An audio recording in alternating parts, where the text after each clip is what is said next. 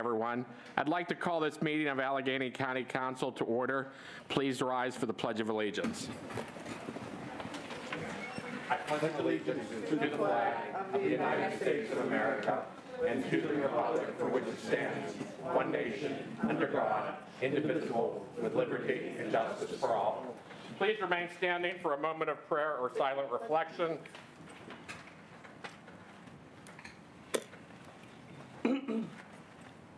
Thank you. Please be seated. Jared, please take roll. Ms. Bennett. Here. Mr. Betkowski. Here. Mr. DeMarco. Here. Mr. Duerr. Here. Ms. Filiaggi. Mr. Futules. Here. Ms. Hallam. Here. Mr. Klein. Here. Mr. Macey. Here. Ms. Naccarati Chapkis. Here. Mr. Palmiere. Here. Mr. Palmosina. Here. Ms. Prizio. Here. Mr. Walton. Here. President Catena. Here. We have 14 members present. Proclamations slash certificates. All the proclamations and certificates will be read into the record this evening. 169, 12699-23, A proclamation honoring in memoriam the life and legacy of Ernest Ricci Jr. and declaring June 1st, 2023 as Ernest Ricci Jr. Day in Allegheny County, sponsored by Councilmember Catena. 12700-23, A proclamation honoring in memoriam the life of Nicole Denise Hogan and declaring June 15th, 2023 Nicole Denise Hogan Day in Allegheny County, sponsored by Councilmember Naccarati Chapkis. 12701-23, A proclamation recognizing and congratulating Dr. Tim Steinauer upon the occasion of his retirement from the Mount Lebanon School District, sponsored by Councilmember Duerr. 12702-23, A proclamation recognizing and congratulating Dr. Mary Beth Irvin upon the occasion of her retirement from the Mount Lebanon School District, sponsored by Councilmember Duerr. 12703, or 12703-23, A proclamation in support of the organizing efforts of the staff union of Pitt, sponsored by Councilmember Hallam. 12704-23, A proclamation recognizing the 2023 Castle Shannon Memorial Day celebration, sponsored by Councilmember Palmiere. 12705-23, A certificate of recognition awarded to VFW Post 803 of Clairton, sponsored by Councilmember Palmiere. 12706-23, A certificate of recognition awarded to American Legion Post 75 of Clairton, sponsored by Councilmember Palmiere. 12707-23, Certificates of recognition presented the 2023 Banner Communities of District 2, sponsored by Councilmember Filiaggi. We'll now have public comment on agenda items. We have many, Mr. President. Okay. I will mention the two names, and then if the second name can just come up and stand at the podium as well, and then they can go right up next. Our first is going to be Nazir Mohammed, and the second is John Hanrahan.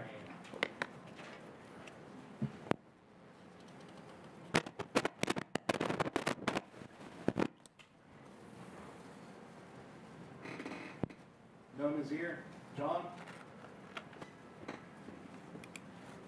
All right, good evening, everybody. I will keep myself excruciatingly brief because I know there's plenty of comrades here to say the same thing over and over again. So I'll say, first of all, I am in favor of the, uh, uh, the bill to raise the minimum wage for county employees.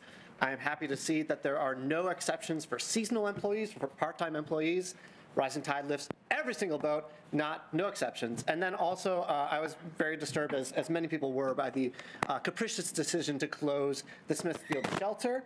Uh, I'm encouraged to see that there is uh, some sort of bill to at least clarify uh, so that closures can at least not be so capricious, but I, I want to see more uh, from this council to see, uh, to figure out what, what happened, why it happened, and what we can do to prevent this in the future, and also hopefully keep Smithfield open longer. People need these beds. Thank you. Next up is Bobby Hillman, and Carl Redwood will be following. Next. Madeline McGrady, Gonzalo Bird Munoz, Next. Garrett Wasserman, Devin Getz, Next. Stephanie Ray Wall, and Jennifer Konikowski, Next. Rick Schwartz. He's here.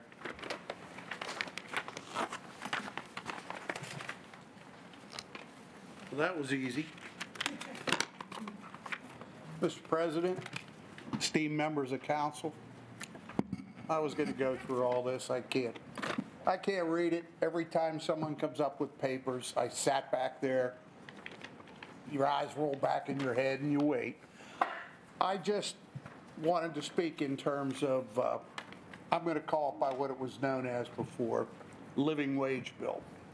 uh, even though it was done under a different circumstance, your compromise bill is pretty much exactly the compromise living wage bill uh, that was offered and not voted on in 2001. And, and there were 10 sponsors on that bill. And one of the sponsors, he, he's still with government today. But um, I don't really have anything else to say. I'm very, very proud that you're doing it.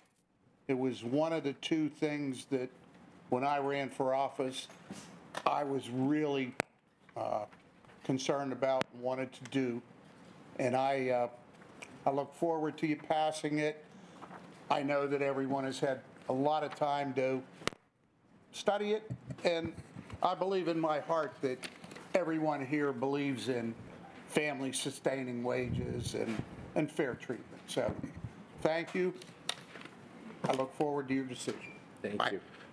Next up is Eddie LaFleur, and Ryan Stranko will follow. Next. Phoenix Sunfire, Erica Brusselars.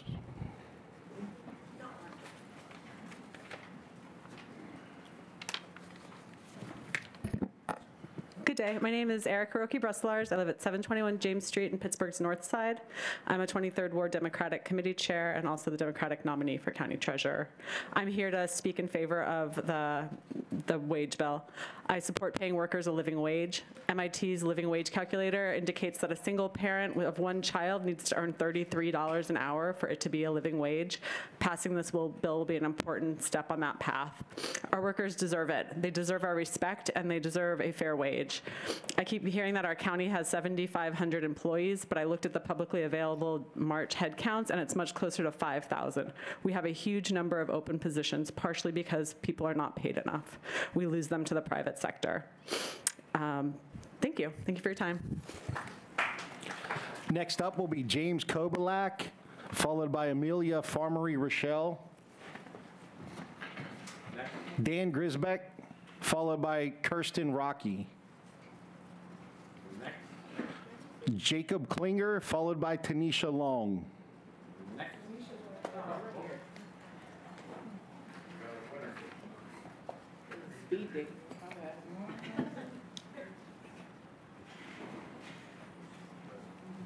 All right. Hi, my name is Tanisha Long. Um, today I wanted to speak on the Smithfield shelter. And I wanted to speak on some things that I think are missing people's attention.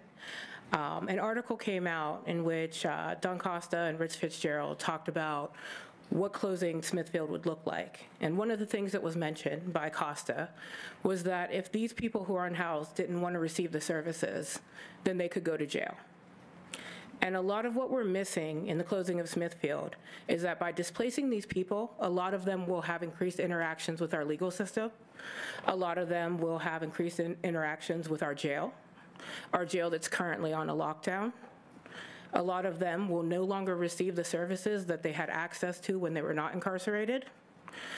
The problem isn't whether or not we have a Smithfield shelter. The problem is the county's inability to provide wraparound services, access to resources.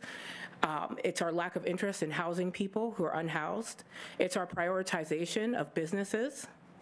Smithfield isn't the problem. The problem is that we have a county executive who is beholden to the interests of PNC Bank. The problem is we have a county executive who's not interested in interacting with county council before making big decisions. I'm surprised that we don't have a system in place already that makes it so that one man cannot, can decide whether or not we keep a building open. I think that's insane.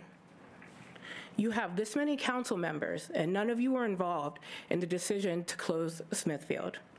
This is Shuman all over again, and we need to have a system in place that stops this. But more importantly, we need to recognize that the people who are most affected by this are Allegheny County residents.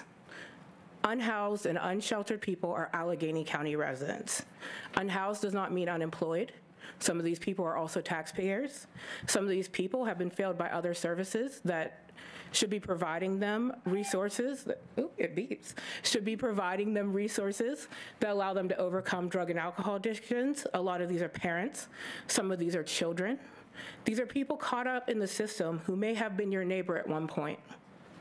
And when we remove them and we decentralize their housing and we put them in places like Moon, McKeesport, we're also ripping them away from whatever familial systems that they've built. We're taking away whatever stability they have.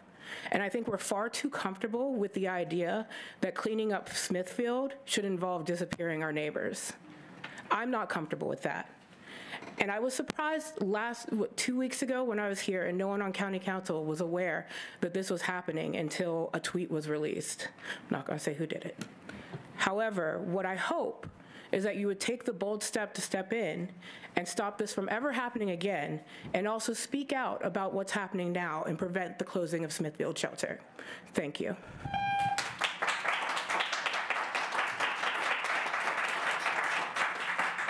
Next up will be Alex Criego, followed by Lauren Hergert, followed by Dan Grzybek. Hello, my name's Alex Criego. I'm the VP of uh, Allegheny Labor Council. Um, I rise in favor of uh, Bethany Hallam's bill to uh, increase and pay workers uh, a decent wage. Right now, the state's still stuck at 725 an hour, and I hear a lot of back talk that it will stop labor from negotiating contracts. I see no way that that would happen, even if the state increases to a $15 minimum wage, then therefore you're telling me that that would stop labor from negotiating contracts. It holds, it's a mute point. It, it holds no water. But anyway, just to make it clear, if people are paid a decent wage, then therefore they will be paying more in taxes. The city would be getting more in revenue. And so therefore, everything would fall into uh, a nice nice budget. Okay. But other than that, like I said, I'll be brief. Have a great day. Thank you. Lauren Hergert. I can't speak, I'm sorry. Okay. Dan Grzybek, followed by Zachary Michaels.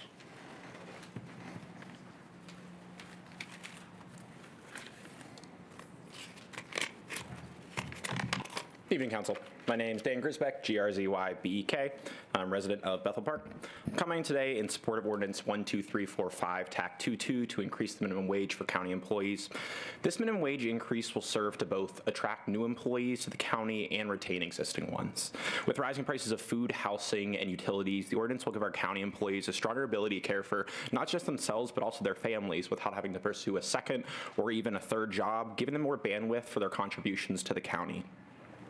A recent study that was actually just released last month by the Institute for Research on Labor and Employment found that raising the minimum wage over $15 per hour resulted in increased labor participation, something we desperately need right now. The study also found that providing a greater minimum wage to lower income workers served to invigorate the local economy, as lower wage workers often live paycheck to paycheck and spend a higher percentage of their earnings. Given that the county executive has already expressed his intent to veto this ordinance, I'd like to address his stated concerns in case any of you may share them. The first concern is that the ordinance violates collectively bargained contracts, which have already been negotiated. However, the language in this ordinance is clear that it wouldn't apply to any contracts that are already in place and would only set a pay floor for future contracts. The second concern that was expressed um, is that this legislation is outside of council's purview. While your solicitor has already provided a legal opinion that it is within your purview, I would also like to note that the county executive himself was in favor of a similar effort to create a minimum wage for county employees back in 2001 when he was on council, indicating that he understands that you all do have this power.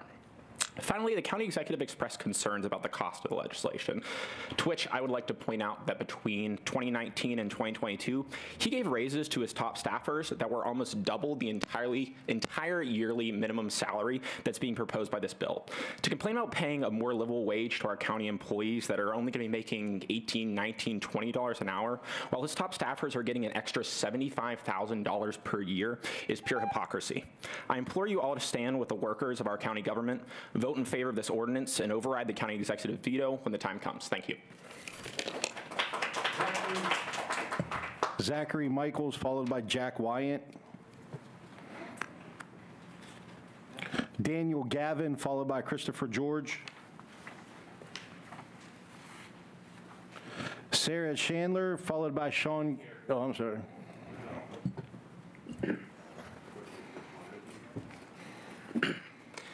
Hello, can you hear me? Yes. Hi, my name is Dan Galvin. I am an educator, active community member, and Army veteran who deployed with the 4th Infantry Division during the Second American War in Iraq. I'm here to speak in opposition to the closing of the Smithfield Street shelter. Housing is an issue of importance to me, having spent much of my childhood enduring multiple evictions and even spending a period of time living out of a tent. Food, clothing, shelter. These are basic human needs. I would assert basic human rights. I would argue that the purpose of a government structure is to provide basic human needs for its people and a method to attain them without resorting to undue burden or desperate measures. This is the sign of a healthy society.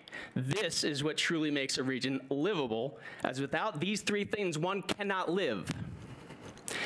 By removing access to one of these key elements, shelter, just as the heat of the summer uh, is arising, as they're installing air conditioning units in the building, the county is consciously making the choice to shift the burden of basic survival needs of 600 people a month from the collective responsibility of our society back onto the individual, and that is unacceptable.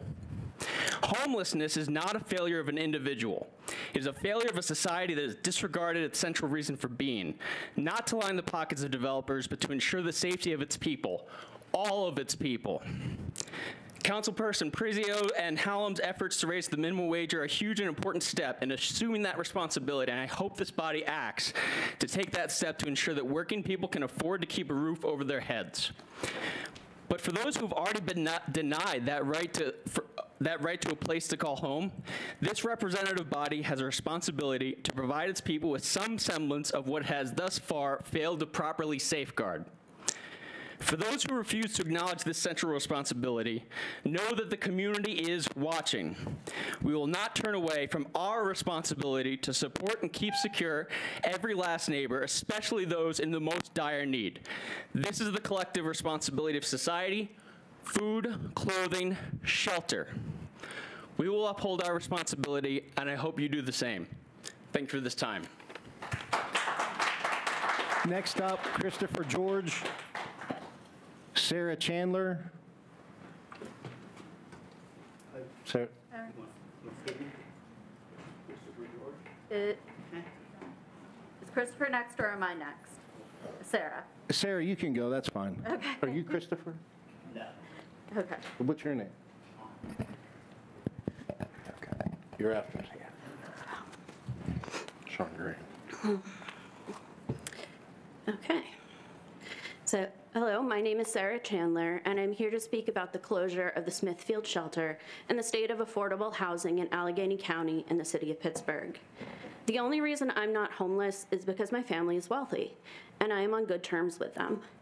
My family is well educated, and my mother is a social worker. But when I became disabled at the age of 22, I had to start relying on disability payments. The house I currently live in is not wheelchair accessible. I need a significant amount of help getting in and out the front door. I've looked into my options for alternative housing. When I spoke to a social worker at the Pittsburgh Center for Autistic Advocacy, they told me they are simply referring wheelchair users on disability to homeless shelters if they lose their current housing, because the only accessible housing has wait lists that are two to six years long. Becoming homeless does not change your position on these lists. Of course, if you're lucky, you end up either institutionalized or in rehab. Not a rehab for substance abuse, but the short term rehabilitation facilities designed to help people transition from a hospital back to home after, say, a bad fall. Rehab can't release you until you have a safe living environment to go to. So places designed for short term stays are being filled with people who have no other options. So when your parent or spouse suffers a stroke, they'll end up where there's an open facility, even if it's in Beaver or Butler County, rather than a place where you can easily visit them. This is how it stands now, without the closure of the Smithfield shelter. The city of Pittsburgh has dropped the ball on housing, to put it politely. Thousands are in the same situation I am, and thousands are worse off. My parents did everything right, but they are not allowed to pay my rent or subsidize my housing. My ABLE account and special needs trusts are also unable to legally pay for my housing. It takes just one accident or the unlucky roll of the genetic dice for someone to end up here. The county's housing crisis will touch your lives, either directly or indirectly. It probably already has. This is happening because Allegheny County and the city of Pittsburgh refuse to invest in affordable housing, and with the closure of the shelter, have chosen to make the city's homelessness crisis worse. Thank you. Sean Green, followed by Eliana Bagel.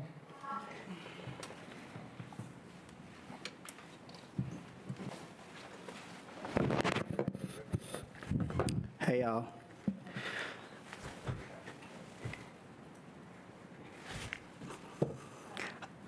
Smithfield Street Shelter is not a space that is a shelter by night and non-existent by day.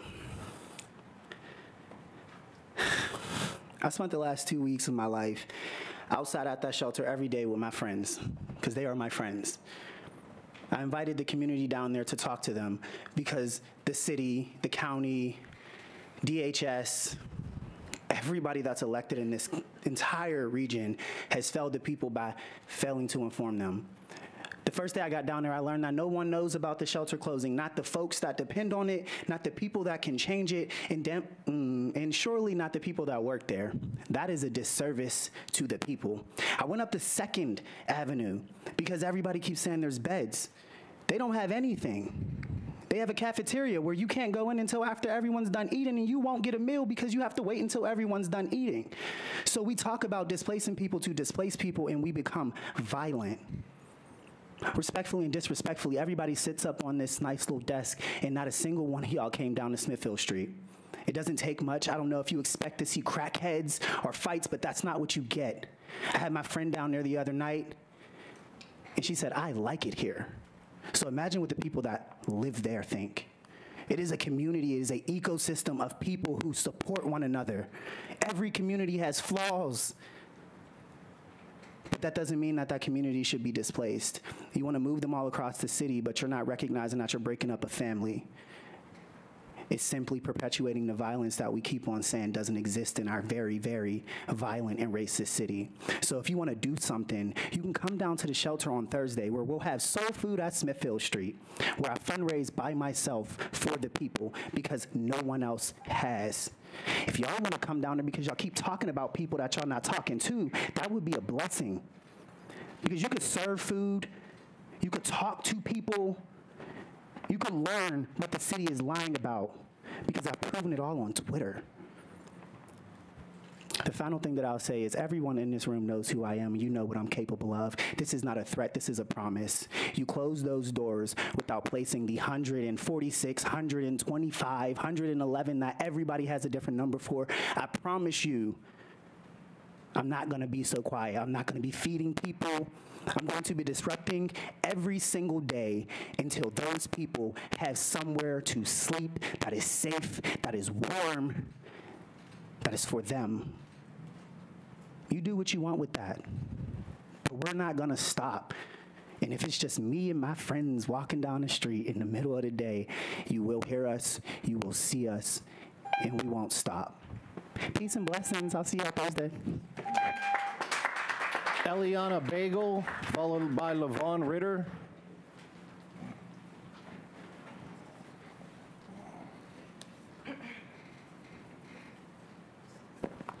Hi, yeah, Eliana Beagle. You guys did a great job with the name. I know it's tricky. Um, so I'm also here to speak against the closing of Smithfield Shelter. Um, to be honest, uh, closing a homeless shelter feels like the kind of thing you shouldn't need to argue against, um, especially when so many of our uh, unhoused neighbors already have nowhere to go. There is already a shortage of beds. Um, it's just cruel. It's heartless. We all know that. Um, so what? People will be displaced. They'll end up at an encampment that the county will just tear down anyway. Uh, they'll be downtown. They'll get hassled by police for loitering. They'll end up in the county jail. God forbid an unhoused person make a tourist uncomfortable, right?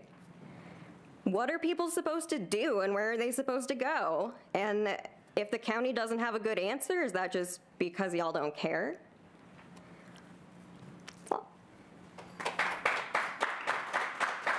Levon Ritter, Sam Schmidt,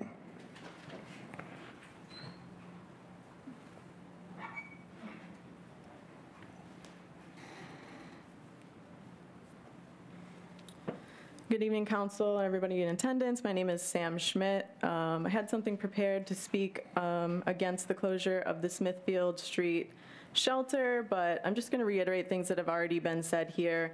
These are not these are people, and we're not treating them like people. There's already a shortage of beds in the city and county. We know this. Closing this shelter is absolutely unfeasible.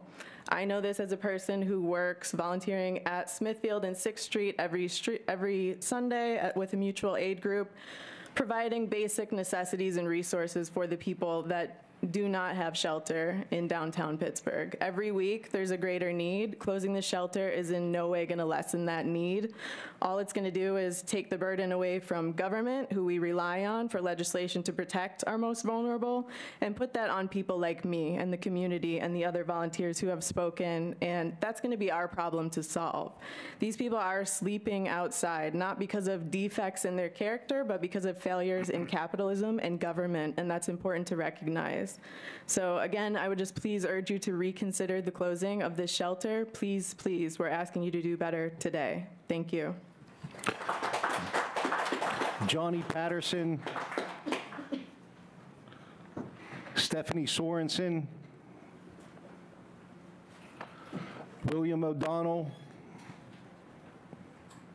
Marty Taylor.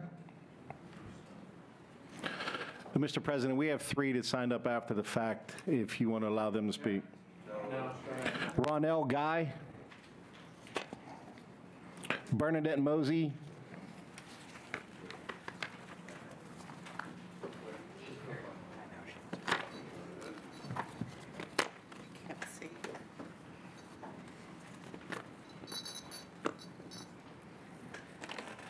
Oh, I had something quickly prepared. My name is Bernadette. I'm from Beechview. I kind of see a, and listening today, I see a contrast in comparison. In the 90s and the early 2000s, I would load up the bus that I drove to state and federal prisons as a volunteer. And my kids would, on the holidays, we would go downtown, and my little girl would come out and knock on a cardboard box, hand them a breakfast. And then my mother, who worked at Saks Fifth Avenue, would gift wrap Pierre Cardin and silk boxers. Um, they were well dressed in the early years. But then jump to two weeks ago, and I've always loaded up my chair with canned goods from the Church of Jesus Christ of Latter day Saints. And I've for the first time, somebody who said they worked at Smithfield, there was 12 people there across from Burlington, took the cans one by one, and as I begged her not to, she dropped them into the garbage. As a man on the corner holding up a sign got very upset with her that's nearer there, but I think society has put this change in attitude on the homeless. And I don't know how we fix that. But um, I would like to read something that I wrote in, 2000, in the year 2000. Um, and I think this is appropriate for today. I hope I could read this really fast where to go. And Oh, how he must cry. In a world of plenty where children starve and their mothers reap, where children covet and greed will seep, in the world of plenty where sickness overflows and health will rot, where businesses prevails and the haves over the haves and the haves nots, in the world of plenty where babies cry out in garbage pails and alleys, where little ones with bruises and hide from their mommies and daddies. In the world of plenty where young teen hearts search out for acceptance, where others will use them without a glimmer of repentance. In the world of plenty where cardboard boxes serve as home, where people blindly stroll by ignoring yet alone. In the world of plenty where women hide blackened arms and battered faces, where society will blame them and point fingers in all the wrong places. In the world of plenty where the Bible sits on shelves and collects worldly dust, where his word is replaced with sin and rancid lust. In a world of plenty where Christ was sacrificed, bled, and died, where his siblings have forgotten and refused to abide, in the world of plenty where the Holy Spirit is time and again ignored, where the world of plenty is favored and greatly adorned, in the world of plenty where his children give up and won't even try, where Heavenly Father must watch with heartache and pain, oh, how he must cry.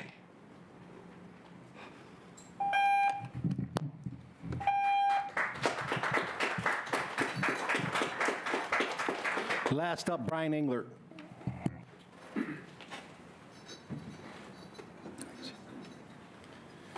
Good evening, Council. My name's Brian Englert. I'm from West Mifflin. I am a correction officer at the Allegheny County Jail and currently the president of our union. I'm here to support uh, ordinance 12345-22, raising the wage for county employees as a president of a union, I disagree that this will impact collective bargaining. Right now, we're doing contract talks. This is in no way going to impact anything that I'm doing. I also agree with the Labor Council. I don't see how that's an issue.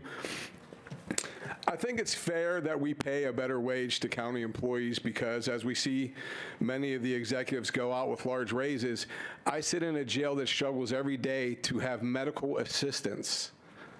Medical assistance to clear people at the door to be brought into the jail.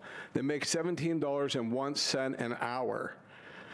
And we can't get anybody at that rate because we're not paying what the hospitals pay. So the solution the county has is to pay a sergeant $61 an hour in overtime to clear the door because we can't pay a medical assistant three or four dollars more. I mean, I think it's only fair and it's only right that county employees earn a livable wage. Most people take a county job not for the pay, but for the benefits. And unfortunately, with the way inflation has gone, the pay has not caught up. The pay hasn't caught up, and I think it's only fair. As a union leader, I support, uh, you know, increasing that wage for county employees. Um, I also want to say thank you. Uh, you did pass unanimously um, to change the ordinance to um, lift the uh, residency requirement to live in Allegheny County. Uh, I only hope the county does the right thing and actually adverta- advertises in the other counties to get me more employees. Um, we definitely need them. But I want to thank you for that and thank you for your time today. approval of minutes 12708-23. A motion to approve the minutes of the April 18th, 2023 regular meeting of council. So moved. Second. Motion has been made and seconded. Is there any discussion? Hearing none. All those in favor signify by saying aye. Aye. All those opposed, motion carries. Presentation of appointments, 12711-23. Approving the joint appointment of Mark Stephen Bybro to the Independent Police Review Board for a term to expire on June 6, 2027, sponsored by Councilmember Walton. That will go to appointment review. Unfinished business, Committee on Government Reform for the second reading, 12345-22. An ordinance of the County of Allegheny, Commonwealth of Pennsylvania, amending and supplementing the Administrative Code of Allegheny County, Article 1009, entitled Personnel Policies, through the creation of a new Section 5-1009.09, entitled Non-Salaried Employee Pay, in order to establish a uniform policy governing the payment of county employees, sponsored by Councilmembers Hallam, Prizio, Betkowski, and Bennett. Councilmember Hallam? Uh, Thank you so much, President Catena. This bill was affirmatively re- recommended to the full council on uh, June 21st, and then it was, it went through many committee processes. We had multiple meetings on government reform, and eventually came forward in front of us all um, as amended on May 23rd of 2023, and I would like to make a motion to approve this bill. Second. Motion has been made and seconded. We'll have discussion at this point in time. Councilmember Hallam? Thank you so much, President Catena. Uh, so first and foremost, I know this bill has been a long time coming. I want to thank every single one of my colleagues who have participated in the discussions and added to the committee process on this bill, and all of the members from the community who have come out time after time, all of the discussions about this, just to make sure that we had it right and that we did it right the first time. Ultimately, throughout our process, there have been a lot of questions and requests for data from my colleagues on council, and I believe that as a result, we have a stronger bill that we're talking about today. The basic principle is simple. We want to pay county employees a competitive minimum wage because we need to be fair to our employees in order to attract and retain qualified and motivated individuals. Councilmember Duerr expressed the desire to spread the fiscal impact of the change over three years rather than doing it in one jump. And we saw wisdom in adopting that proposed amendment, which is the form of the ordinance that you see here tonight. We received one legal opinion expressing concerns about the bill and another indicating that it was within council's purview. Both of these opinions are purely advisory and neither is binding upon us, but all of my colleagues on council have seen those legal opinions and are able to vote today with those in mind. I do want to quickly touch on a couple of points that I believe are important. I've heard some people suggest that they believe that this ordinance is outside of council's, council's powers because it would govern county employees. In my view, that is patently incorrect because our administrative code contains provisions governing the county's personnel system. That's our job. The code provisions in Part 10, which are actually called personnel. Sets standards for things like merit hiring, paid holidays, our career service requirements, residency restrictions, employee orientation and employee handbook requirements, performance evaluations, employee development, employee layoffs, discharges, suspensions, and demotions. All of that under our purview. Our home rule charter requires that the administrative code covers these topics because it says the, per- the personnel system must be included in the county code. Council adopts that code and amends it through the legislative process. We are legislators. It is our duty to legislate in the best interest of all of the people in Allegheny County, regardless of which district you represent or which party you come from. The charter says even more than that. Article 4 says that the council has the power and duty to, by ordinance or resolution, modify or eliminate any department, agency, or function that no longer meets the needs of the county's taxpayers. This language is clear and specifically establishes that this council and not the county executive, has overall authority over the county department's existence and functions. That charter also gives council authority over the county's annual operating budget, which contains the appropriations that pay every single county employee and elected official. Our current administration and some others have suggested that the cost of increasing the amounts that we pay our employees are simply too high. I, for one, cannot subscribe to the notion that the only way we can balance a billion dollar annual operating budget is to have our own employees subsidize that budget by receiving a low wage. I cannot get behind that, and I will never get behind that. The Commonwealth and the federal government have minimum wage statutes. These statutory minimum wages have not been adjusted in years, even as the cost of literally everything is going up around us. Employers are free to decide their own minimum pay rate for themselves, so as long as it is at least the minimum amount specified in these statutes. And employers throughout the Commonwealth and the entire country routinely do so in order to be fair to the employees upon who they depend. Allegheny County is not free from this exact same obligation. We have an obligation to pay our workers. We have a county an obligation to provide the best county government that we can possibly provide. And the only way to do that is to vote yes on this bill tonight. And I cannot wait to do that. I hope every single one of you sitting up with me here tonight are going to do that as well. Let's raise the wage. Thank you, President Catena. Thank you. Anyone next? Councilman DeMarco? Thank you, Mr. President. I would just like to say, uh, speaking to the taxpayers of Allegheny County, the people who we bill to take and submit taxes to the county to run our government, that this bill, as we've been told by the administration, the county executive's office, would require a tax increase in the amount of 30 million plus dollars. Okay?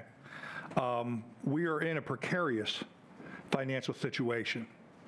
We were fortunate to pass a budget last December, you know, utilizing money that we had from ARP and things like that. So we were able to say for the last 21 of the last 22 years, we did not raise property taxes. But as many of you also know, we're currently in discussions with the uh, subcommittee on property reassessment, special committee on reassessments. We've extended the appeal period there because the CLR was viewed as too high. So there are thousands, thousands of appeals out there for folks waiting to come before us to have their property assessed values lowered, which will result in lower tax revenue to us. In addition, downtown here in the commercial space, we're running with an occupancy or vacancy rate of 23.4%. Many of these businesses have not recovered, you know, from the pandemic. And we are going to take and see a number of them coming to us, appealing the property value on their buildings. Uh, Those are going to result in lower tax revenues into us. We have a senior population, many of which are living on a fixed income. And, you know, raising their taxes is going to put a strain on those folks. At this point in time, I can't support this bill because I don't believe, A, it's within our purview, B, it complies with Pennsylvania law, and C, that it's good financial sense. We heard some of our previous speakers talk about people don't come to work for the county, to work for the county for the wages, they come for the benefits. So let's let the public know what some of those benefits are. Um, County employees only pay 3.2% of their wages for health care. I know folks in the private sector would love to leap at that. County employees who are full-time employees can collect a pension. That's been gone in the private sector for many, many years.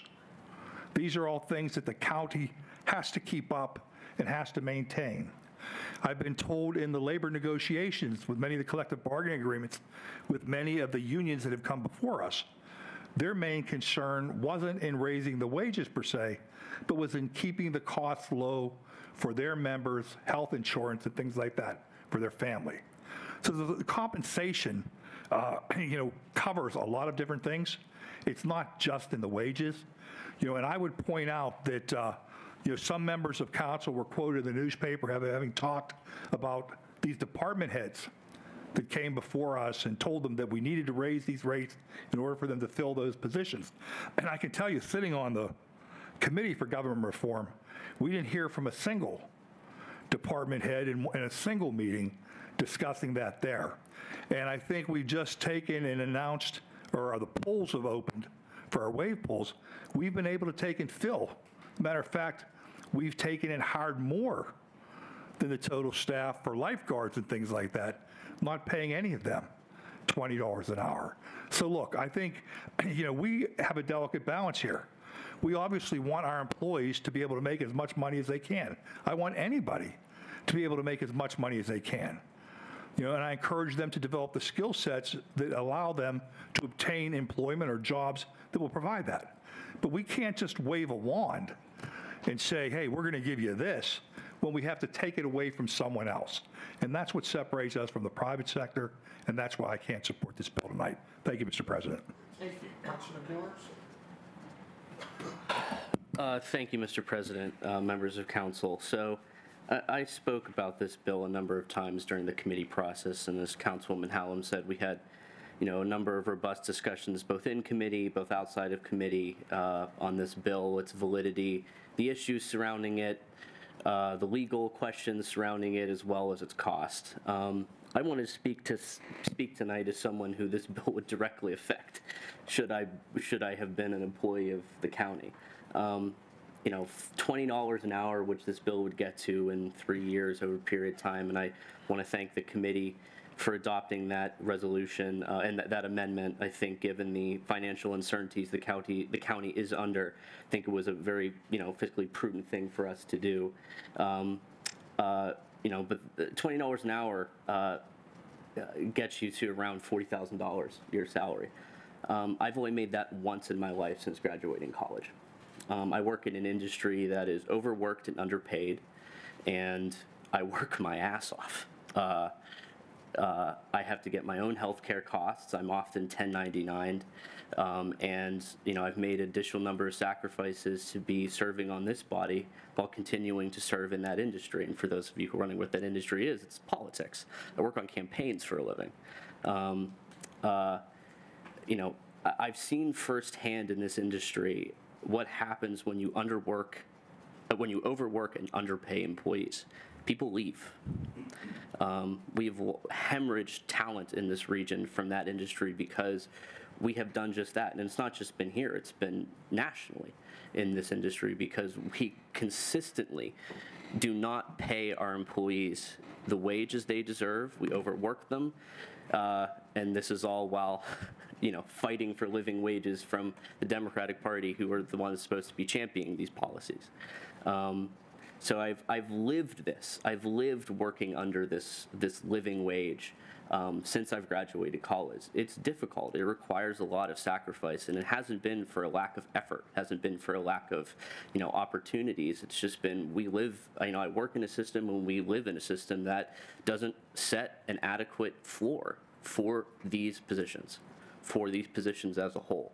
So, you know, this is a bill that is very personal to me. Uh, and I think during the committee process, I think Councilwoman Bennett, you were, you know, as a discussions, the only other one who had lived at these wages, um, uh, who would this, if you would have been working at the county, would this have directly affected? Um, you know, uh, it- this is the right thing to do. Uh, living wage, given increased inflation, given everything that's going on, you know, has the opportunity to bring people out of poverty, to make someone's life more stable. Um, and once again, uh, someone who's lived this directly um, uh, would have been would be a huge boon to someone like me should I have been one of been, be one of these employees who this would affect in uh, working in county government. So. Um, uh, once again, appreciate uh, my colleagues' robust discussion on this. I respect um, both the administration and my colleagues' uh, opinions who might not support this bill tonight. We've had a ton of discussions around that, um, but uh, you know, looking forward to this moving forward, uh, following some hopefully more robust discussions. And I thank you, Mr. President. Thank you. Councilman Futules? On the line. Well, we'll start from the beginning. Um, The ordinance had come out during a committee meeting, and I had put an amendment in to take it from $20 to $18 an hour for the full-time employees and $15 for part-time, high school kids, college kids, cutting grass, uh, lifeguards. I didn't think it would be a good idea to pay them the exact amount of somebody that has skill sets in our county, even a college education. Um, It might create some animosity, uh, compression, as we call it, during our county, and create major problems, even possible lawsuits. Um, My amendment failed into the committee process, and then Tom Duerr introduced the $18 an hour for everyone, 19 the second year, and 20 the third year. I was not exactly in favor of that because um, we legislate up here. Um, If we started at $18, which I had proposed, next year, we have that opportunity to come back and look at it again. But with this legislation, we don't. It's already set in stone. It's 18, 19, 20, no matter what happens as far as the assessments, as far as what happens with the new administration, we just don't know. It's an unknown. So for us to come back every year and evaluate and reconsider an increase in the salaries, that's okay. But you can't take something away. Once you give it, you can't say, well, you know, we made a mistake last year. Maybe we can't give you that $19 this year, but we're putting in our net position in this council that that's exactly what's happening. Um, I'm a businessman. I pay my, my employees very well. And I don't tell my employees, I'm going to pay you every year an increase. I wait each year to talk to them and say, yes, I'm going to give you a raise because I have compensated my business so that you can get more money. I think the same thing falls here uh, as a business owner. I think we should all consider ourselves business owners here at council and decide, I would support an $18 an hour minimum wage for one year. And then let's discuss what we can do next year, because there's going to be some members of this council that may not be here next year. And they're not going to have to deal with what we're doing today. And that's an issue. We got a new administration. We don't know what's going to happen. So why would we go three years out when I don't feel it's necessary? So I'm not going to vote for this. Not that I'm against paying people a decent wage. I am, because I do it myself. I practice it. But I just don't think we should go out three years, 18, 19, and 20, because we just don't know what the future is. I believe we have that opportunity to come back next year's budget, not this year's, and and discuss it again. So that's the way I feel. Thank you. Councilwoman Bennett? What? Thank you, Mr. President. Uh, As Councilmember Duerr uh, stated, I am the other, the only other person on council who has had a, uh, who has lived under the living wage or under a minimum or, or livable wage. Um, I think for the last two years, and I just started making a livable wage last year. And uh, I, and as a black woman, that is not uncommon for black women in this area. I would like to remind everyone that we had a gender equity report that said that. And many of the people that work for our county are black women who who had single women, black, uh, single parent households. And so I just would like to remind council that if we're really going to be what we say we're going to be, and we want people to have a, a fair shot and a, livable, a shot at living, uh, being able to live in this county, um, and not put that burden and continue putting that burden on the backs of black women, then we should be voting in favor of this. Um, and to Councilman Futules's point, this ordinance goes into effect if approved in 2024. So three years from 2024 is 2027. $40,000 in 2027 is not going to be a livable wage at that point either. So um, thank you, Mr. President. Thank you. Councilman Klein? Thank you, Mr. President. Um, You know, I have to tell you, I can't recall a time when um, I ever heard uh, those who resisted in some way such a proposal, saying that this is a good time to increase wages, uh, particularly when the people on the receiving end of this were public employees. Uh, As if there is this expectation that when you serve the public, you at the same time decide to take a vow of poverty. So um, I, I'm just remembering that in, in 2001, there was a book that immediately went to the top of the bestseller list. And it was written by a woman by the name of Barbara Ehrenreich, and it was called Nickeled and Dimed.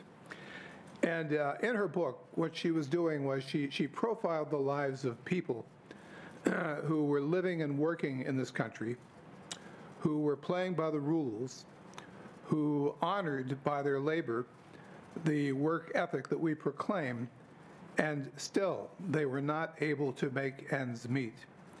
Many held full-time jobs, but it was not enough. And even with an additional part-time job, they struggled against what she referred to simply as destitution.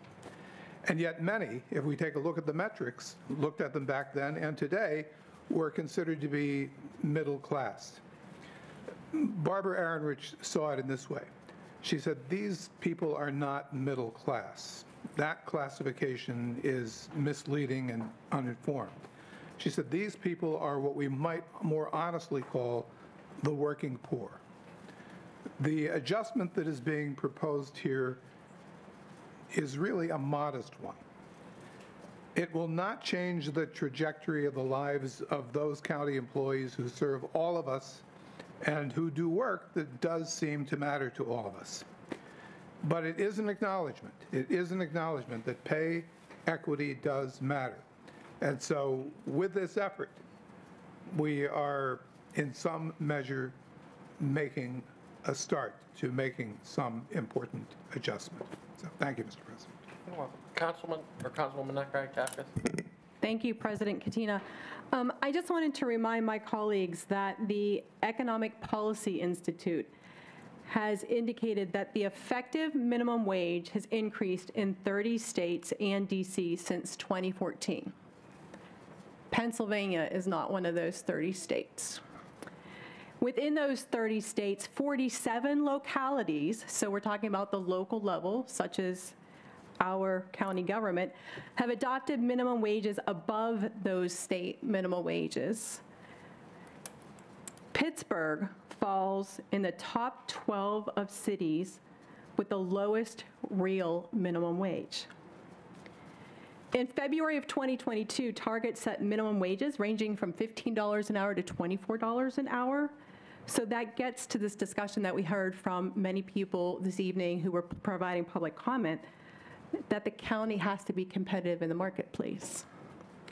I believe that we're early enough in this year, this calendar year, that should this pass, that gives us sufficient time then to incorporate this into the county budget planning process to ensure that we have sufficient funding to carry out operations of all the departments within county government. Um, And just as a side note, I did learn this week that we do have lifeguards um, that are being paid 18 to $20 an hour for the head lifeguard position. So just wanted to make note of that. Thank you. Anyone else this evening? On the motion. Councilman DeMarco? I I would just like for the record to say that I believe everybody up here probably started out with some type of minimum wage. So while Councilman Duerr or Councilwoman Bennett may have been, may have been the most recent, okay? I remember working for a dollar seventy an hour, all right? So we didn't just wake up and make six figures or something like that. You know, we started somewhere, we developed skills, we moved on from there. And $18 an hour isn't 20. Thank you, Mr. President. Thank you. And certainly, last but not least, what I want to say. Uh, Council authority. We've heard it tonight that council doesn't obviously have the authority to do this. I'm going to make this real simple. Per our charter, the administrative code governs our employees. Quite simply, council enacts that code. Therefore, we have the ability to do so, period. Interference with bargaining. Some people have said that this ordinance interferes with the ability of unions to collectively bargain. If that's correct, every federal and state minimum wage statute should be invalidated immediately and struck down tonight because those function the same way that this ordinance in fact does. Former Governor Wolf's order mandating increased minimum wage for Commonwealth employees would legally be impermissible. Furthermore, any private employer that opts to establish a floor for its employees' pay rates would also be infringing on the collective bargaining. It's clearly not the case. Now, why shouldn't we pay lower rung employees this much? I mean, I've heard that argument as well tonight. So let's just talk about this a little bit. So I was thinking about Sheetz convenience stores and what Sheetz convenience stores pays its employees. As of yesterday, a regular team member jobs are posted between 14 and 16.50 per hour at various area locations, with an extra buck 50 per hour worked overnight at each location, and at least one location offering a $500 sign-on bonus. About a week ago, I was informed by the administration there are roughly 1,400 county jobs currently unfilled. If we're only barely competitive with convenience stores in terms of pay, we're not giving people, particularly seasonal and temporary employees, any real reason to want to fill any of those vacancies. Furthermore, I've heard about a tax increase. Allegheny County's enacted 2023 operating budget totals just under $1 billion, just under $1.02 billion, to be specific. If we can't figure out a way to balance a budget of that size with our existing revenues without forcing hundreds of our county employees to to subsidize it by working for less pay than they could make elsewhere, then our budgeting skills have a lot to be desired. Finally, interference with contracting power. I've heard a lot about contracting power tonight. Some people have said that this ordinance is impermissible because it interferes with the executive's contracting power. It is true that our home rule charter does say that the executive is empowered to negotiate, award, and sign, or cause to be awarded and signed on behalf of the county, all contracts, agreements, and other instruments, except as provided in Article 6, Section 2, subsection, blah, blah, blah. But nothing contained in the charter says that the executive is in fact above the law of the county in that process. And the law is replete with examples of restrictions on the executive's contracting power. Just to name a few, Article 913 governs public works contracts. Article 911 con- governs contracts generally and places specific requirements on language. Article 909 establishes procedures for entering and modifying revenue products. In 27 20 2007, Ordinance 08-07-0R was passed. This bill co-sponsored by then Council President Fitzgerald, amended the purchasing code to prohibit the county from contracting to buy goods that were made under sweatshop conditions. Just before the final vote on that ordinance, Council President Fitzgerald noted, I think this is an excellent piece of legislation. Article 705 of the Administrative Code, governing naming rights and enacted by an ordinance and also co-sponsored by then President Fitzgerald, restricts the chief executive's ability to freely contract in that setting. Many of these provisions were enacted as part of the first county administrative code in 2000, and they are all, all are the law of the county right now. The executive's contract power clearly is not absolute. It's never been absolute. It's been restricted by our administrative code from the very first year of our home rule charter in Allegheny County. Our current chief executive has also both sponsored and presided over the enactment of legislation that restricts the executive's contracting power. Ordinance 07-10-0R was co-sponsored by Council President Fitzgerald and imposes restrictions on service contracts relating to county-owned projects. As former President Fitzgerald noted at the time of the bill was passed, restricting the executive's contracting authority was central to the intent of that ordinance. Quote, I just wanted to get on the record that the legislative intent of this bill deals directly with the direct contracts that this county has in some of our buildings. Bill number 0126 was introduced in 2001. The bill was broader in scope than 07-10-0R and it required both an increased minimum wage for all full-time county employees and a living wage for employees working for entities having contracts with the county. Then Council Member Fitzgerald was a sponsor of this bill as well, and during that meeting, at which the bill was voted upon, he called the increased minimum wage for county employees one of the highlights of this bill. Although 0126 did not pass, an increased minimum wage for all county employees was in fact front and center of that very bill, and requirements governing pay rates for parties entering contact with the county were also very much included. Now, Chief Executive Fitzgerald had indicated he's going to veto this ordinance that establishes a minimum wage for county employees, just as he himself proposed in 2001. Clearly, the shoe is now on the other foot. Uh, this decision ostensibly is based on spacious arguments that council does not have this authority and that this minimum wage hinders collective bargaining. It is my sincerest hope tonight that the chief executive sincerely remembers the day he sat in this very chair and supported living wages and realizes the importance of paying our own employees competitive and fair wages. Chief Executive, please remember sitting in this very chair tonight. Thank you very much. We'll now take the vote, Jared.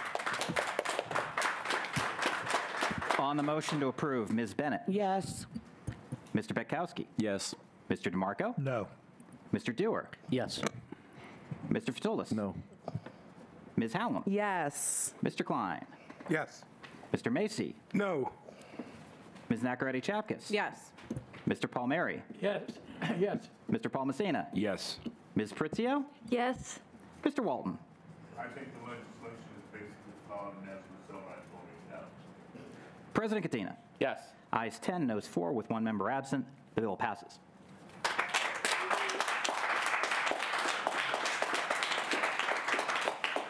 We'll now have liaison reports. Councilman Duerr. Um, President Catena, just wanted to let the members of council know that the Board of Elections met yesterday to certify the results of the 2023 primary election. There was no hiccups in that. Uh, all of the uh, certified results, the official results are now on the county's website, as are the official results of all of the write-in races as well. So if anyone has any, uh, is it, you know, curious about those final results, um, please go check. Uh, And preparations are already underway for the 2023 general election. Thank you. Thank you. Councilmember Bennett. Thank you, Mr. President. I just wanted to take a moment to shout out the New Leadership Pennsylvania held at Chatham University. I got to uh, be a member of a panel yesterday. It's a group of young ladies, about 25 young ladies from across the state from different universities, um, learning leadership and specifically about politics. So under the direction of Dr. Dana Brown. So just wanted to give them a shout out and uh, hopefully I get to visit back again next year. Thank you. Councilman Palmiere? Thank you, Mr. President, members of council. I had a busy couple weeks here. Uh, The other day, we finished up uh, the year with CCAC uh, in our um, year-ending uh, meeting uh, for the summer, and I just want to report to everybody that CCAC is in really decent shape, and we will con- continue to serve this community to the best of our ability. And I also wanted to point out to you that out of the 15 colleges in Pennsylvania, we're the lowest when it comes to charging the children and the people what it costs to go to school. We're the biggest bargain in a family budget. There's no doubt about it. And anyone that has any aspirations, any young people have any aspirations about furthering their education, please, please come to CCAC, talk to a counselor, talk to people over there, and I assure you, you will be treated fairly, justly, and more, more than anything else, you'll be able to afford us. Also, Mr. President, I wanted to mention on Memorial Day, I was over at Castle Shannon for their ceremonies. It was a beautiful day. It was a, a beautiful ceremony. I was proud to be there. I also was at Clairton for their VFW their, uh, what was the other one? American Legion. American Legion. I got, I got, a, I can't, for some reason, I just got, I go blank there. But I was there both with uh, the veterans over there. And you know, the interesting thing about Memorial Day, we honor the people who gave their lives to last full measure. Not the veterans that are alive today, but there were so many people there, it was unbelievable. And Clairton, of all places, had a wonderful luncheon for everybody that was there. It was just marvelous to be able to, to be among the veterans, to be among the people who came over, and they remember what Memorial Day is all about. Yeah, I could have done a lot of other things, but you know what? I was there because I wanted to be there, and I was proud to be there. So please, whatever you do, Veterans Day, the real Veterans Day is November 11th. That's for the live, the live veterans. That's when you go up and thank them for their service. Pretty hard to thank those people on, on Memorial Day. They're, I wish we could thank them. We do, we honor them. We don't, we don't, we can't thank them, but we honor them. So I just wanted to share with you, Mr. President and, and Council, that the, the fact that um,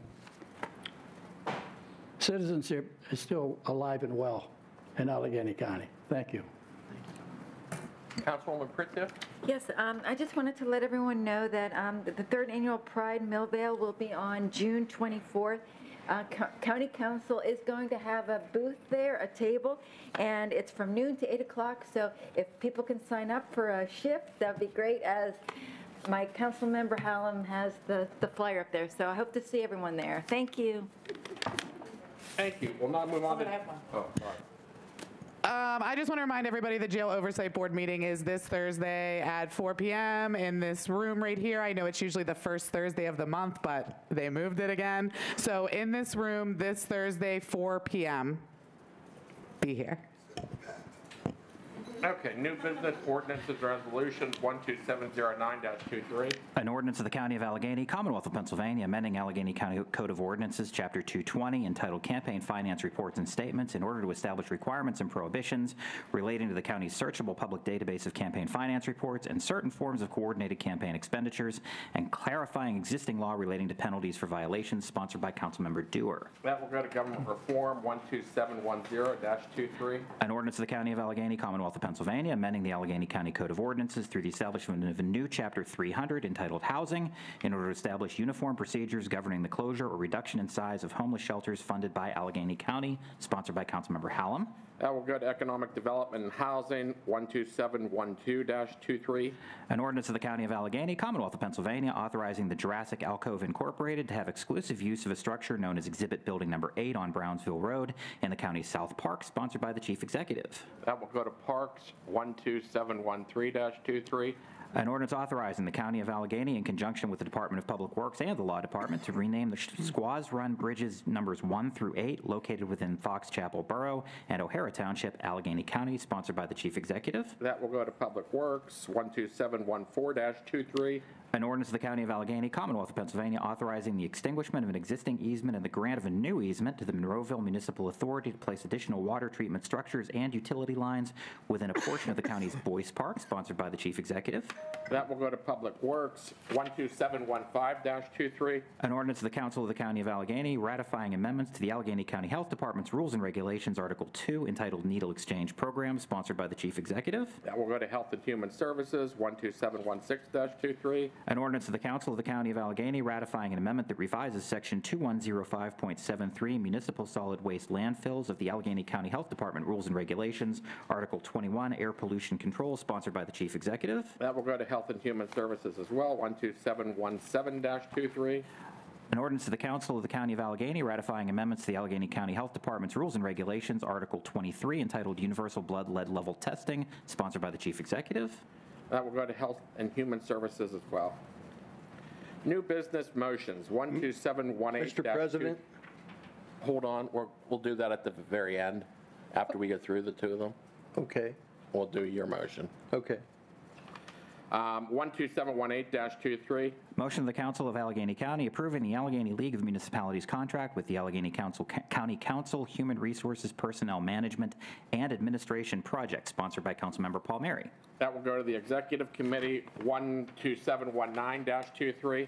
A motion of the Council of Allegheny County authorizing a public hearing pursuant to Section 801.05 of the Administrative Code on Thursday, June 15, 2023, at 6 o'clock p.m. in the Gold Room of the Allegheny County Courthouse, sponsored by Councilmember Hallam. Councilmember Hallam, I believe you'd like to make this motion. I would, President Catena. Um, I would like to make a motion to approve a public hearing in this room at 6 p.m. next Thursday, June 15th, uh, to discuss the proposed Smithfield shelter closure. Second. I'd like to ask for a second. Thank you. Motion has been made and seconded. Is there any discussion? Go ahead. Anyone have any discussion?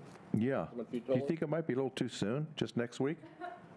So the, the date that the county has actually put out there that they plan to close it is that day, and so there is kind of a timeline on when this needs to be done. Okay. I didn't mean to like step over and answer, but um, I just want to say, you know, I know everyone has been hearing about the Smithfield shelter. I know we had a lot of people come and talk about it here tonight. And the reality is, we have as many questions as you all do. We were not included in any discussions about the plan to close this shelter. We were not given any heads up that this was about to be announced. We were not included in that decision, so I'm sure that a lot of us up here are actually feeling a lot of the same frustrations as you are, and we want answers. And so we want the folks who are being impacted by Smithfield closing to come here and talk to us. We want the county to tell us what happened. Why did we announce that Smithfield was going to remain open indefinitely and then suddenly propose an arbitrary timeline to shut it down? Where are the people who are in Smithfield currently going to go? This isn't really even a shelter. It's an overnight accommodation for people so they don't have to sleep on the streets. So for anyone who is upset about people sleeping on the streets, you should want to know what they're going to do to help the people who are currently using the shelter. Um, it's estimated, based off of numbers that have been collected, that around 600 unique individuals utilize this place's services every single month. Where are they going to go? If the county has a plan, where are those facilities? How many beds are available at those facilities? Are they truly low barrier like Smithfield has been?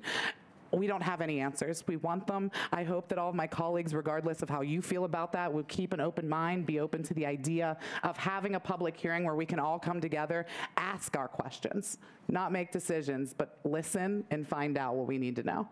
So that's how I feel. I'll be voting in favor of this public hearing. I hope that you will not only vote for it right now, but that you will actually commit to show up and participate in it and hear from the residents of the shelter and hear from the constituents that have thoughts about it as well. I have it written down. Any other discussion? Harry, no other discussion? Jared, take a roll call vote. On the motion to approve, Ms. Bennett? Yes. Mr. Betkowski? Yes. Mr. DeMarco? Yes. Mr. Duerr? Yes. Mr. Futules? Yes. Ms. Hallam? Yes. Mr. Klein? Yes. Mr. Macey? Yes. Ms. Naccarati Chapkis? Yes. Mr. Palmiere? Yes. Mr. Palmosina? Yes. Ms. Prizio? Mr. Walton?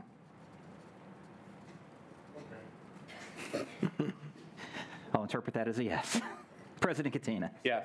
Ayes 14, no zero, with one member absent. The bill passes. Thank you.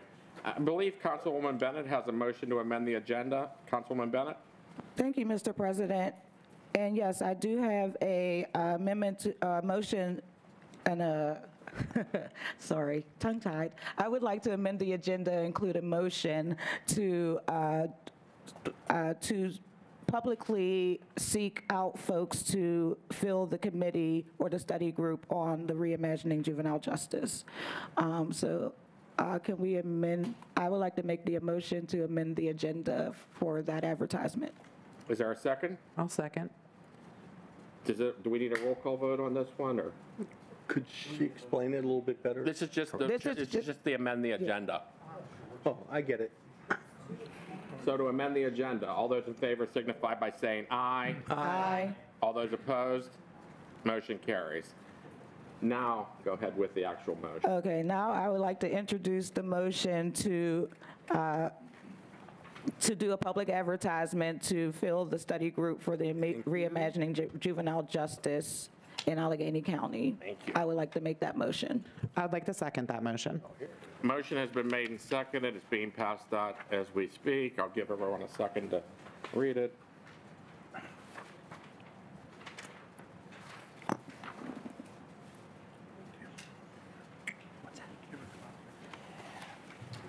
As you're reading it, can I just remind folks? Okay.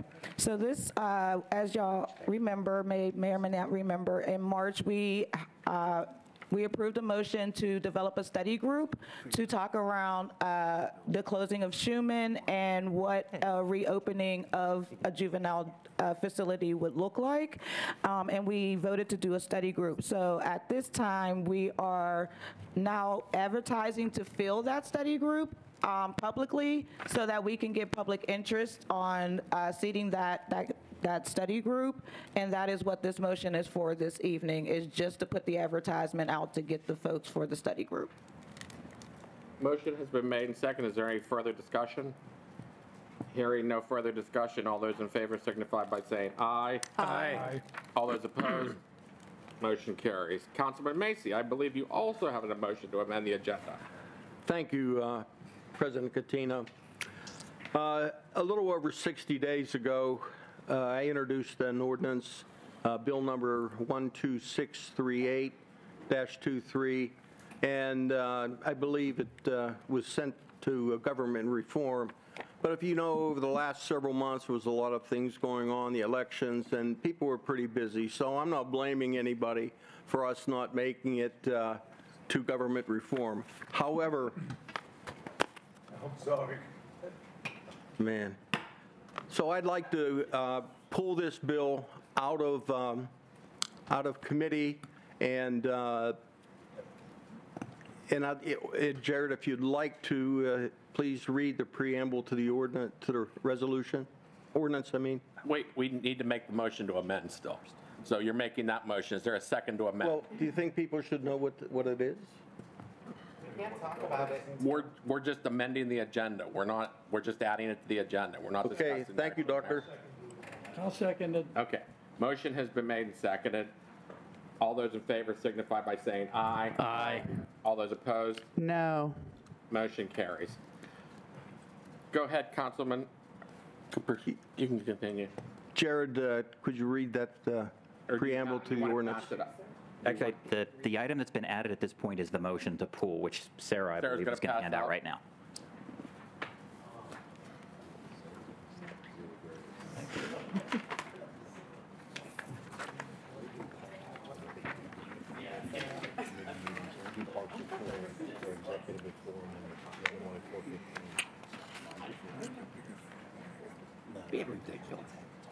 I'll explain.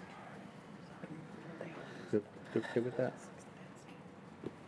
Go ahead. Okay. You can talk. What, what this ordinance is, does is it takes our stipend and it uh, changes it to a salary. There's no increase in what the charter has provided for us.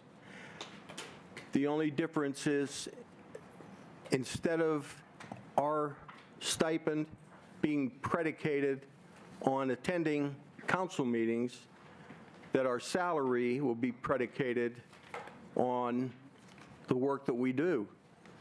Most of, we come here for an hour, maybe hour and a half, and most of the work that we do are in our co- communities. So, and rather than have a change in some of our paydays, it would be consistent with the pays across the Allegheny County, County's employees. So in other words, we'd get paid two weeks, every two weeks, and that will be in line with other employees and it'll be throughout the year. Now, historically, we would only get our money up until November, and then for two months, we got nothing. So we're not raising salaries, we're not raising the, um, the amount of money. All we're doing is putting it on the, uh, the uh, payroll schedule like everybody else. And it would be also, and I checked with the controller's office, and they said it would be convenient to do that. Thank you. So I make a motion to approve this ordinance. Is there a second? Second. Wait, Jared. What- We're still on the, I'm adding to, the- to the agenda. I thought we did that. I thought we said yes. No, it's, it's, we changed the agenda, it's now to pull. Bingo. So we need a motion to pull. Make a motion to pull it. Is there a Second. second? Okay. Motion has been made, second. Jared, take a roll call vote, please. On the motion to pull from committee, Ms. Bennett? No. Mr. Betkowski? No. Mr. DeMarco? Yes. Mr. Duerr? Yep. Mr. Futules? Sure, yeah. Ms. Hallam? No. Mr. Klein? Yes. Mr. Macey? Yes. Ms. Naccarati Chapkis? Yes. Mr. Palmiere? Yes. Mr. Palmosina? Yes. Ms. Prizio? Yes. Mr. Walton? Eh, okay. President Catena? Yes. So Ayes enthusiastic. 11, noes 3 with one member absent. The motion passes. Okay, now would you like to make the motion to approve the ordinance? Yes, Mr. President, I would. Is there a second? I'll second. Is there any discussion? Yes. Go ahead. Um, Mr. Mr. President, also, I want to just clarify a couple things too. And uh, Mr. Macey, uh, Councilmember Macey, you can clarify this. This would be put on as a ballot referendum, yes? This would need to be a charter change? Absolutely. It would Okay. be up to the voters. All right, and the second thing I wanted to talk to you about in terms of clarification was you mentioned that you came up with this in regards to a study that was done in terms of some good governance things that could be adopted that, in terms of changes. I wasn't sure if you wanted to talk about that a little bit. Well, every 10 years, just like um, our, uh, our census, we have a commission on Allegheny County Council, and this was one of their recommendations. So I thought that this would be appropriate, and I had talked to other of my colleagues, and they agreed. Thank you. Council, council, I don't know. Councilwoman. Yeah, so I do not agree. Uh, I think that support for this bill says that we're cool with council members getting lazy, right? We have two meetings a month, and we make almost $11,000 a year. I know it's not a lot for how big the county is, but you make $11,000 a year to go to two meetings a month. This makes it that you can go to no meetings all year and still get $11,000 in taxpayer dollars. You can do even less than what a lot of people on this body do now because you don't even have to show up to the one regular meeting of council that we have every two weeks.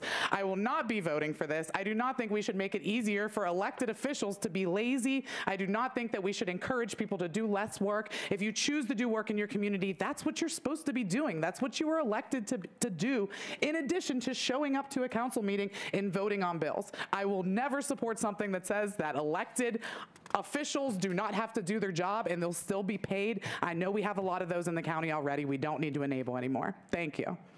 Anyone else this evening? Councilman? Yeah, I- I think I have probably, you know, many just uh, unknowns about, um, about this, which is why I think a a robust discussion in committee uh, would be beneficial for me if, if, even though, um, if my colleagues uh, feel that they're sufficiently educated on the issue, that they don't need any further discussion or uh, any referrals from legal or any questions answered by legal, I, I applaud them for their um, wisdom and certainly knowledge much greater than mine. But one of the, the main things that I have with this is this is now the second time we're asking for a referendum in the mere two years, well, less than year and a half that I've been on council.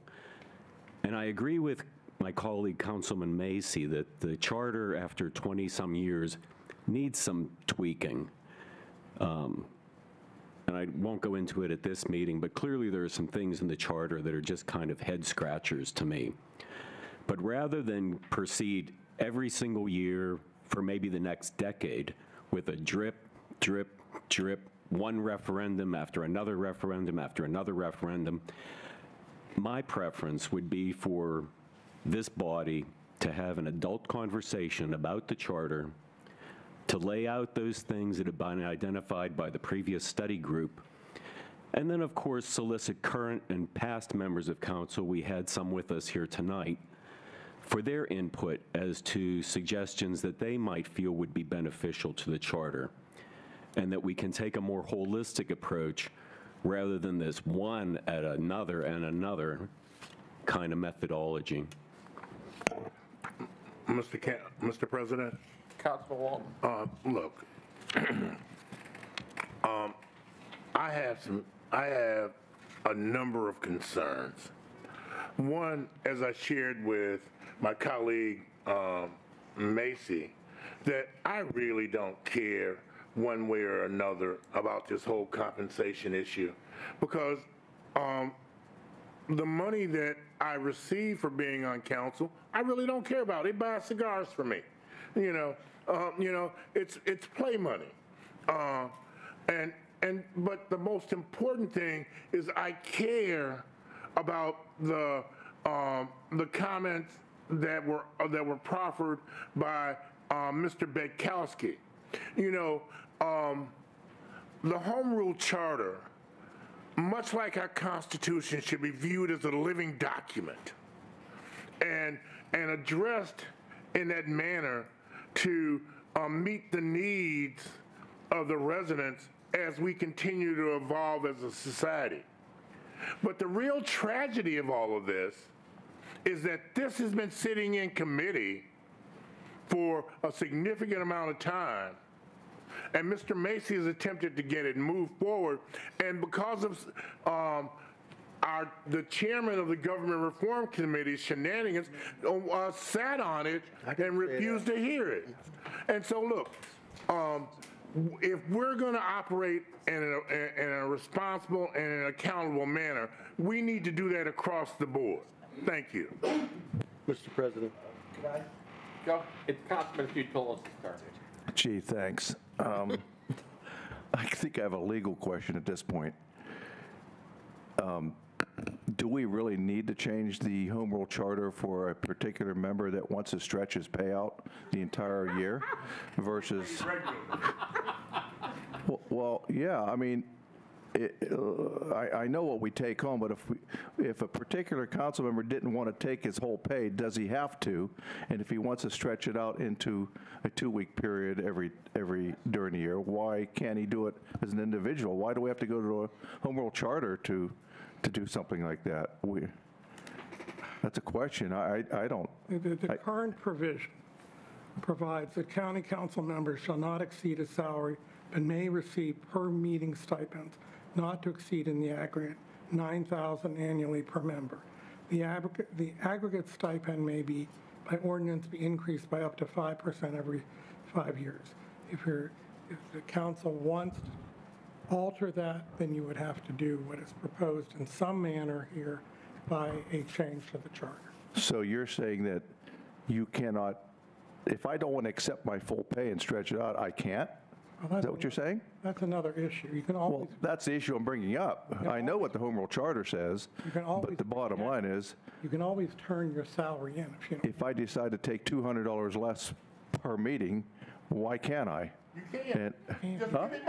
Give it back. Well, that's my point. If somebody wants to stretch it out, the 12, I mean, I live in the Eiffel Tower. What was the Ivory Tower, I believe it? Yeah, so I don't need my pay, okay, but the, but what I'm getting at is there are some members of this council that do depend on their pay and they'd like to get it stretched out. And I see Bob's point about about taking it every two weeks, but the point is, like, the big question is, do we really need to go to a referendum question to ask how we should take our pay? Now, if you don't show up, I get it, you don't get paid. And, and, and I don't want to be mean or nothing, but you know, you're the biggest offender of not coming to meetings. I've never missed one. Okay. But I don't even want to get into that part, but, but the bottom line is, what I'm trying to say is, do we really need to go to the referendum question for someone to extend their pay if they or have earned it? To- That's the question I'm trying to raise. Not what's before here.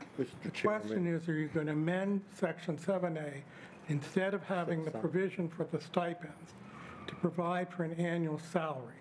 And if you think that that's an appropriate thing to be put to the voters, and I'm not commenting one way or another on it, then we would have to amend the charter. Councilmember Macey.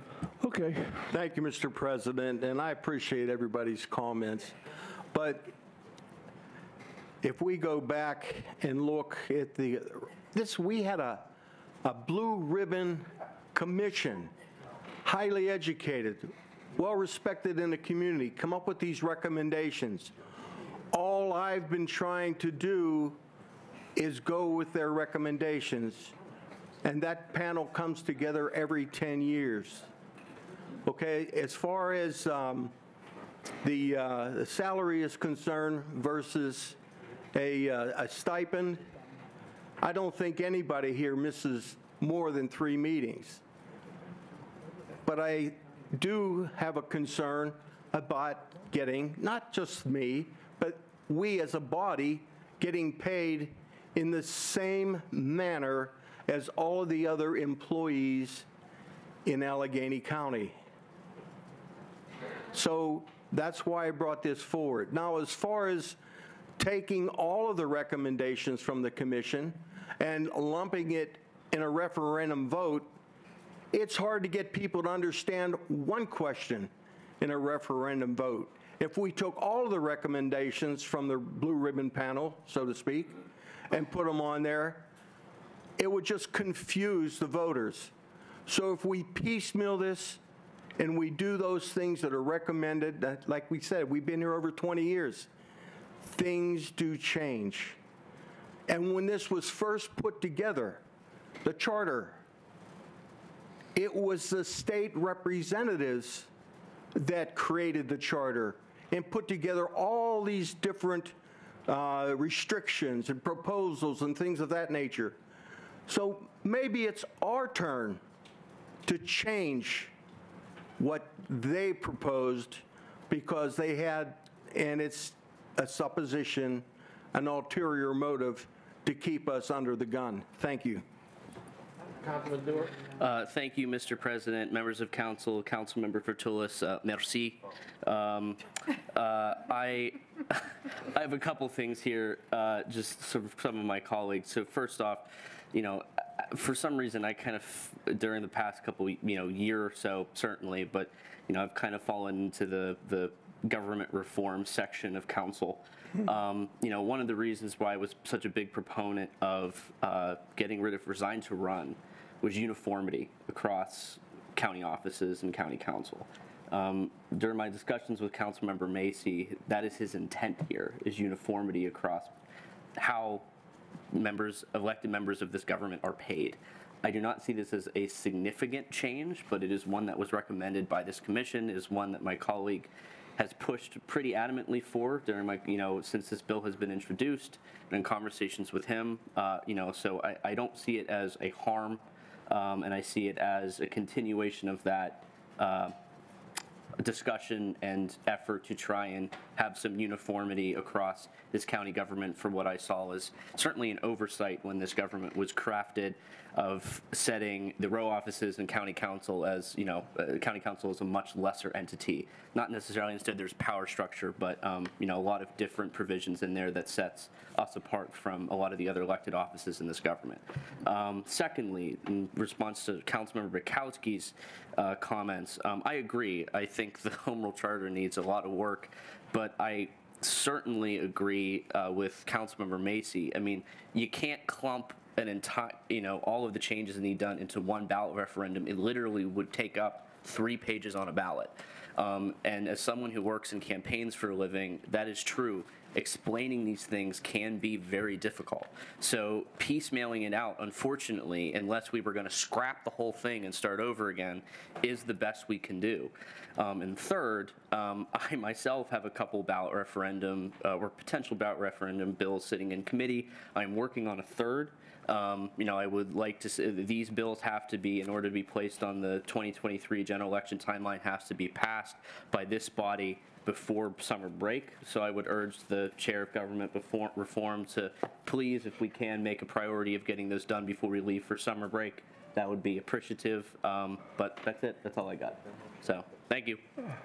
Anyone else this evening? Hearing no, or Councilman Calhoun? I'm flabbergasted. I mean, I'm, I, I appreciate the zeal of um, all of the ordinances moving through government reform, but I guess I'm, you know, still of, uh, you know, old school that uh, the government that governs best governs least, and that we literally don't need a law for everything. And it sure seems like this year, as opposed to my prior first year of service, is uh, we've got the afterburners on and passing ordinances. Uh, But uh, my question, though, and I apologize for the, the rambling.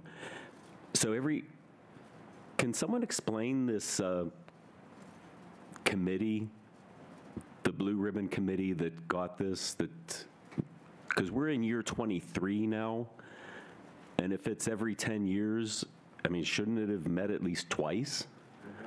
They have? There's two reports? Yes. Yes. Jared, can you clarify? The Government Review Commission is required by charter. Its initial meeting was in 2005, and its first report, I believe, was issued either late '05 or early '06. And then 10 years after that, they met in 15, and the, the final report issued, I believe, in March of 16. So 05. Next one will be 2025, correct? They met about five or six years ago, the last committee, so we're getting close to the 10 year. I'll send it to you, Anyone else this evening? Hearing, no- go- Councilman? Go ahead, roll call vote, please. On the motion to approve, Ms. Bennett? We do. Wait, time out, don't we have public comments still? On non-agenda items? Yeah. We're not, ad- we're not adjourning. What do you- Oh, you're just uh, adjourning this discussion? No. No, on the motion to approve Mr. Macey's bill. We're voting on the motion. We're voting No. on the Voting on ordinance. the- Yeah. On the motion to Jared, approve no. ordinance 12638-23, Ms. Bennett? No. Thank you. Mr. Betkowski? No. Mr. DeMarco? No. Mr. Duerr? Yes. Mr. Futules? Sure. Ms. Hallam? No. Mr. Klein? Yes. Mr. Macey? Yes. Ms. Naccarati Chapkis? Yes. Mr. Palmiere? Yes. Mr. Palmosina? Yes. Ms. Prizio? No. Mr. Walton? No. President Catena? Yes. Ayes nine, noes five, with one member absent, the bill passes. Okay, moving on. Notification of contracts? Thank you. We have none. Okay. Public comment on general. We have a couple. Caitlin Moss Crawford.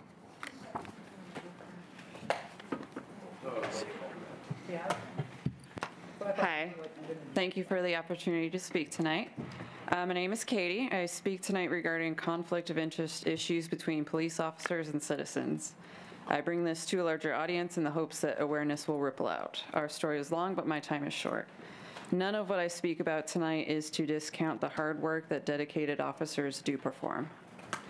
My husband and I work in education and live in Shaler. We have a personal yet negative connection to a police officer. At this time, I am not disclosing the full nature of our connection. In June 2021, we invited this officer to participate in conflict resolution counseling with us, and the response given was that this person doesn't need to be told what he is or isn't going to do. This officer followed us home one night, April 2022, and made claims in our driveway that my husband was drunk driving based off of a smell. My husband was not swerving, speeding, slurring, stumbling, or any other actions one might experience while actually being drunk. A second officer arrived. My husband made the conflict of interest known. My husband was then handcuffed and put in a patrol car. The initiating officer said they would bring him back when they were done with him, and I was given the time frame of 20 minutes. The officers already knowing that they were going to be bringing him home shows that the accusation was not expected to result in an arrest. My husband passed the sobriety test with near 100% accuracy. All three officers failed to put the breathalyzer re- results in their report. Audio and visual recordings, along with photos, will show that the officer's account does not match actual appearances, behaviors, or the timeline of events. We have taken many steps to gain clarity of the officer's prof- professional permissions. Information has been denied or redacted. The person handling our request shows an extension of the conflict of interest. Throughout this whole process, we have never requested dis- disciplinary action, only understanding of how this event was permitted to occur and why information is being withheld. It is our understanding that this officer is telling others that my husband did get a DUI. Acquaintances of this officer were discussing this event at a school bus stop. This officer has continued to interact with us in various ways, regardless of our request for space. My husband should be able to interact with his children without this officer interfering or making comments regarding intimidation while trick or treating. After reviewing various documents, we do not see guidance about conflict of interest. The oath that the officers take does not include anything about the bias of having a personal relationship with someone. We ask all police departments to strengthen or implement policies regarding conflict of interest to prevent further similar issues. While it might take time for revisions to occur, we publicly ask this officer to give us the space we have requested. We are willing to work with policymakers further and welcome further communication about this issue. Thank you so much. Sonia Saylor. Jacob Poole.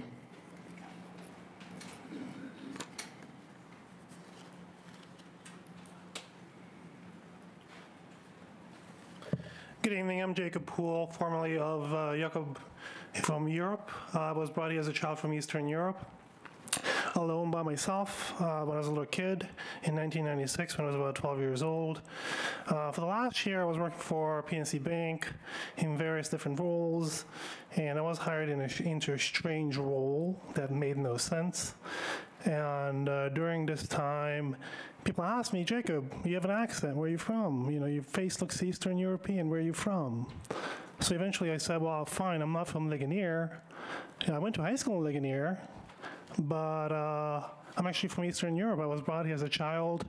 I was in European police custody when I was uh, 10 years old. When they told me that, they busted a child trafficking ring in an apartment complex where Holocaust surviving Jewish family members were abducted to and held captive and forcibly impregnated after they tracked down extended family of Einstein in Eastern Europe to make Einstein children to sell for money. And it's because Pittsburgh has University of Pittsburgh, Carnegie Mellon, Westinghouse, Bettis Nuclear Research Laboratory, and National Energy Lab, all in demand of Einstein kids. And there's a lot of military contractors, government contractors in Pittsburgh with extended networks all over the world. And apparently, when people find family members related to Einstein, they manufacture children to manufacture children to sell for money. And I know this because I was in European police custody when I was 10 years old, and they told me all of this because they stamped my birth certificate with River Market. So I'll never forget. My birth certificate, birth certificate literally says River Market. And they took me to the apartment complex when I was 10 years old, where they showed me women with missing hands, uh, Jewish Jewish women and all sorts of difficulties that they busted. They mentioned hundreds and hundreds of children, maybe even thousands, and women that were held captive there for 10 years, manufacturing children children for sale. Now, I worked at PNC Bank for the last year, and I disclosed that I was child trafficked from Eastern Europe, and I'm not really from Ligonier. I went to high school in Ligonier, and I was child trafficked to Ligonier using church networks, and words orphan and refugee and various different things. And so PNC Bank fired me. They fired me because I said I was I'm a child trafficking survivor, so I'm currently unemployed. And now I'm saying on my resume that I'm a child trafficking survivor from Eastern Europe, and the Pennsylvania Career Link thinks I need to take that off of there because no one's going to hire me. So no, mm-hmm. it's supposed to be a secret that I was sold for money for slavery, and Pennsylvania doesn't have slavery laws on its state. It doesn't. doesn't Allegheny County doesn't either. Carlos Thomas. Marvin Carter. Motion to adjourn? From the second. Motion brings that knowledge basic conversation. Aye. Aye. All opposed, vote